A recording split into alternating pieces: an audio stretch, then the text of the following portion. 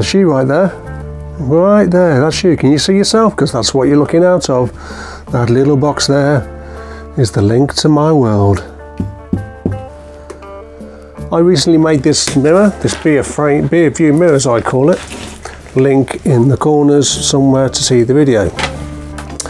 Next step is to hang it. Now are the frames made out of eight pieces of palletwood. There's a monster mirror put inside it. There's the metal from 60 beer cans cladding it. There's almost 700 grams of tacks tacking it.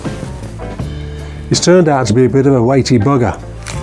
And my dilemma is that the walls in my house are cavity walls with plasterboard.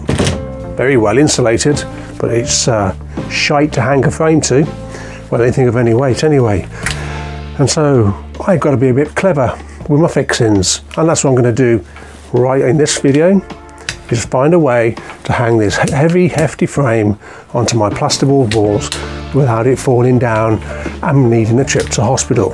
And what I reckon is it all's going to start with this piece of 18 millimeter ply because I need a plaque on the wall apart from the plasterboard wall. Using these fixings, they're anchors into the plasterboard,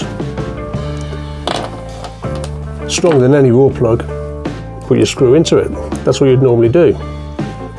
But I intend to fix this to the plasterboard first with these, about four or five of them.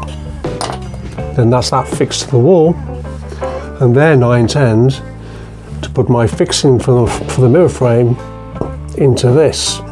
It's like laying a foundation on muddy ground. That's the idea. It might be nonsense.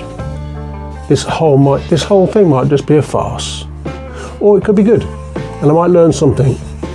That's what I always hope. I always hope to learn something. So let's stop waffling and let's get doing.